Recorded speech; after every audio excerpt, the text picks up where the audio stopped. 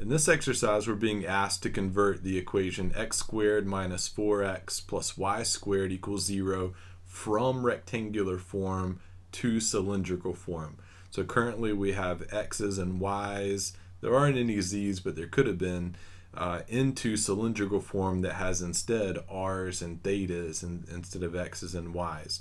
So you notice this is a little different than the last example. Here we're not converting a point in one form to a point in the other form. We're converting an entire equation.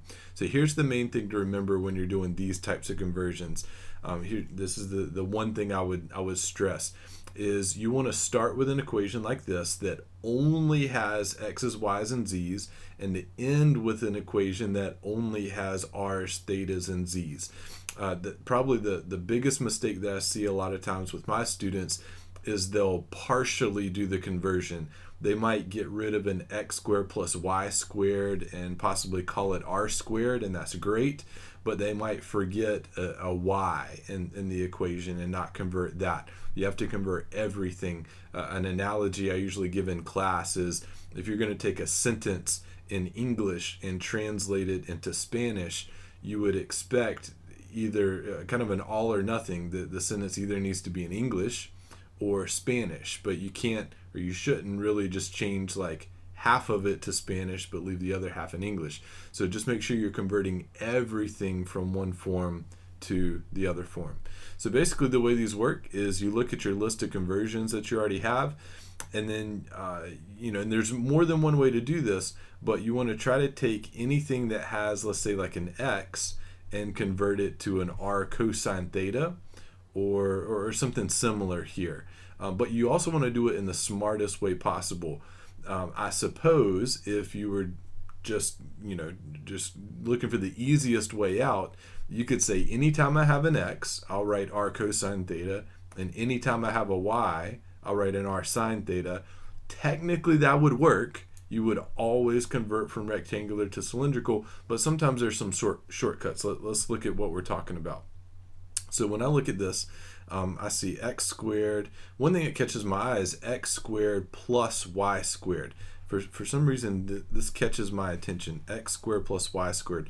Why does that catch my attention? Can you tell? Uh, it's because of this conversion right here. x squared plus y squared is the same as r squared. So I can take these guys out and swap that with an r squared.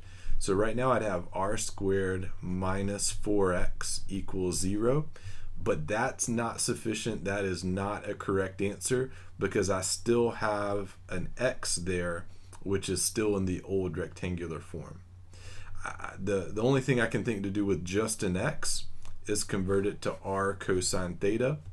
So you could say r squared minus 4r cosine theta equals 0 or you could say r squared equals 4r cosine theta if you added that 4r cosine theta to the right.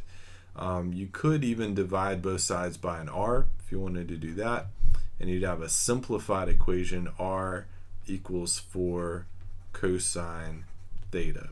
So I'll box that in there. Notice I have no more x's or y's, it's just r's and thetas.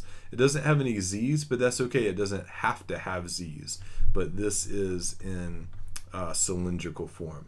Um, now, the only thing I'll say before we finish up this video is you might say, well, well Devin, what, what would have happened if you had done what you said where you just converted the x's and the y's just straight out? I'm um, not going to work through all the details, but check this out.